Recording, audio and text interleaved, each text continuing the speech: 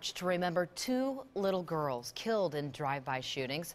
Last month, somebody fired several shots into McColl's Stewart's home in Kansas City, Kansas, killing the 10-year-old. And then just weeks before that, somebody gunned down six-year-old Angel Hooper in the parking lot of a 7-Eleven store. Today's demonstration asked anybody with information about those crimes to come forward.